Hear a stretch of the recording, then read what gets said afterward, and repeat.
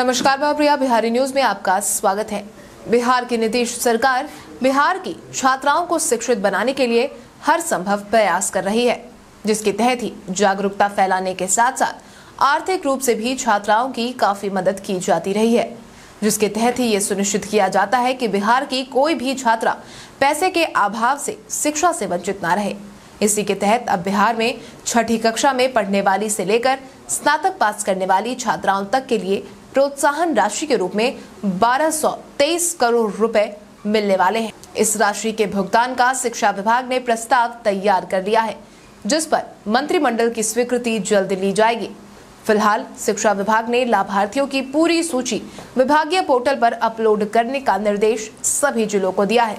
शिक्षा विभाग की तरफ़ से साझा की गई जानकारी के अनुसार मुख्यमंत्री बालिका प्रोत्साहन योजना के तहत इंटर पास होने वाली अविवाहित छात्राओं के लिए 400 करोड़ रुपए प्रस्तावित है। इस योजना के तहत बिहार बोर्ड से इंटर पास होने वाली अविवाहित छात्राओं को पच्चीस पच्चीस हज़ार रुपए दिए जाएँगे। वहीं मुख्यमंत्री बालिका स्नातक प्रोत्साहन योजना के तहत स्नातक पास होने वाली छात्राओं के लिए ढाई सौ करोड़ रुपए प्रस्तावित है। इस योजना के तहत राज्य के विश्वविद्यालयों से स्नातक पास होने वाली छात्राओं को पचास पचास हज़ार रुपए मिलने वाले हैं। मुख्यमंत्री शताब्दी बालिका पोशाक योजना के तहत छात्राओं को पोशाक के लिए 200 करोड़ रुपए दिए जाएँगे।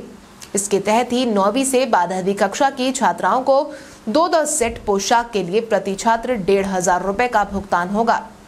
वहीं मुख्यमंत्री बालिका साइकिल योजना के तहत नौवीं कक्षा में पढ़ने वाली छात्राओं को साइकिल के लिए 123 करोड़ रुपए प्रस्तावित है।